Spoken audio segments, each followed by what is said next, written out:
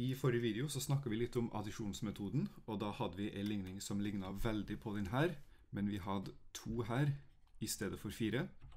Nå har vi fire i stedet for to. Og vi ser at det som skjedde i forrige video var jo at siden vi hadde to her, så kunne vi addere de to ligningene, bruke addisjonsmetoden, og da forsvinner 2y mot minus 2y, så vi står igjen med bare en ligning for x. Men siden det står fire her, så kan vi ikke gjøre det. Det er ingenting som forsvinner ved å bruke addisjonsmetoden her. Men hvis vi bruker det vi allerede vet om ligninga, og det at du har lov til å gjøre det samme på begge sider av likhetstegnet, så kan vi jo lage en ny ligning av den her. Og da kan vi jo for eksempel gange med 2 på begge sider av likhetstegnet. Og da får vi jo 2x pluss 4y lik 2 ganger 5 som er 10. Og da har vi laget en ny gyldig ligning. Og da kan vi bruke addisjonsmetoden på de her to ligningene, og da vil vi se at, oi, sorry, da vil vi se at pluss 4y kanselleres mot minus 4y. Så la oss prøve det. Da har vi 2x pluss 4y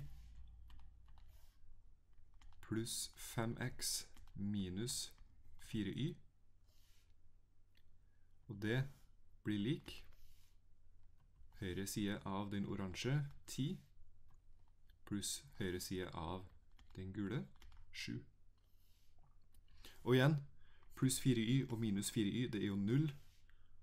Og da står vi igjen med 2x pluss 5x lik 17, eller 7x lik 17, som gir x lik 17 sjudeler. Men igjen, svaret er ikke så viktig akkurat nå.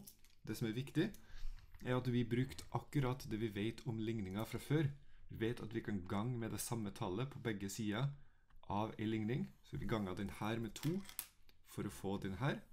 Og så brukte vi addisjonsmetoden på de for å få en ligning som var kun med én variabel, som gjør at vi får en verdi for den variabelen, og kan fortsette å bare sette inn den her i en av de andre ligningene vi har, for å finne y.